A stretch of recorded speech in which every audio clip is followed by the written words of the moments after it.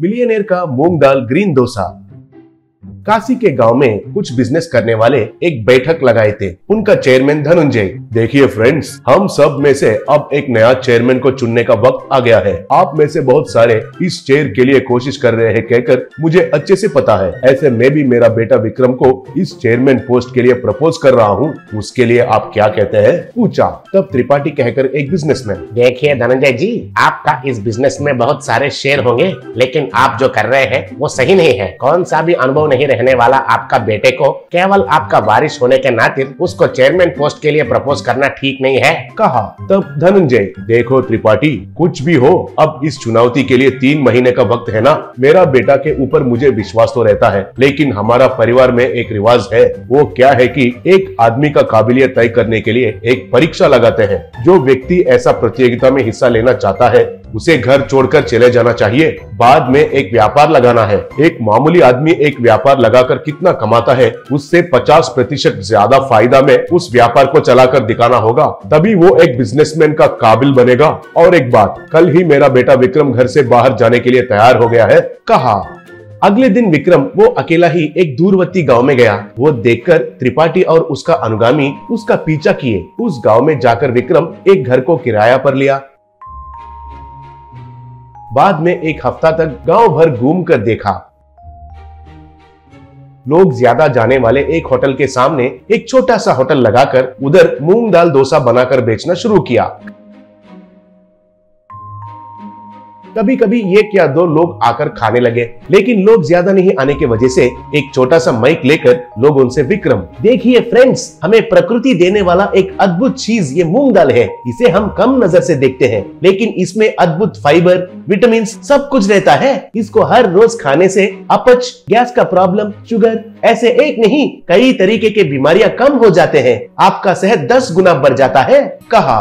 तब लोगों को उसका बातें अच्छा लगकर एक ही बार उसके ऊपर गिरकर मूंग दाल डोसा खरीदना शुरू किए। विक्रम भी उनको अच्छा गुणवत्ता वाला मूंग दाल डोसा बनाकर देने लगा। वो देखकर उस रात को त्रिपाठी सामने वाला होटल चलाने वाला बद्री के पास जाकर उसको पैसे देकर कैसे भी विक्रम का धंधा को गिराने के लिए कहा। उसके लिए, बद्री सर आपने बात बता दिया है ना? अब मैं क्या कर सकता हूँ, दिखाता हूँ? कल से मैं भी मूंग दाल डोसा बनाता हूँ। उसमें सब वेरायटी लगाता हूँ। मेरा इस झटके से वो विक्रम इस गाँव छोड़कर भाग जाएगा, सर। कहा। अगले दिन से बद्री वो हर रोज बनाने वाला इडली, डोसा सब कुछ छोड़कर वो भी केवल मूंग दाल डोसा बनाना शुरू किया। लेकिन लोग कोई भी बद्री के पास नहीं आ रहे थे। और विक्रम के पास तो अगल बगल गाँव में से लोग ज़्यादा आकर खाने लगे।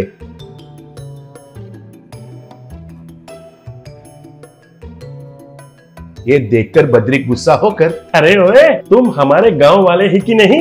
मैं भी मूंग दाल डोसा बना रहा हूँ लेकिन मेरे पास क्यों नहीं आ रहे हैं? तुम सब लोग अच्छे नहीं हो। कहा तब गाँव में एक आदमी अरे ओ नालायक तुम विक्रम बाबू से तुलना कर रहे हो? वो आदमी देसी वाला मूंग दाल अच्छा गुणवत्ता वाला मंगवा रहा है हमारे लिए। उसका दाम भी बहुत ज़्यादा है इतना ही नहीं हमारे सेहत के लिए उसमें तेल भी अच्छा गुणवत्ता वाला इस्तेमाल कर रहा है और उसको मिले पैसों में से हर रोज दस प्रतिशत हमारा पंचायत में स्कूल को अच्छा करने के लिए दे रहा है। तुम्हारा ज़िंदगी में कभी भी ऐसा एक अच्छा काम किए हो क्या? कहा। तब बद्री हैरान रह गया। बाद में गाँव के बाहर त्रिपाठी से मिलकर बद्री। सर, वो विक्रम मामूली आदमी नहीं है, सर। केवल 20 दिन में मूंग दाल डोसा बनाकर 30 साल से चला रहा इधर मेरा व्यापार को गिरा दिया है, सर। गाँव वाले सब उनके और घुमा लिया है, सर। वो मामूली आदमी नहीं है, सर। आप उनके पास मत जाइए, सर। मेरा बात मानकर आप इधर से चले जाइए, सर। आपको और आपके पैसों को एक प्रणाम। कहकर त्रिपाठी का पैसे वापस करके चला गया।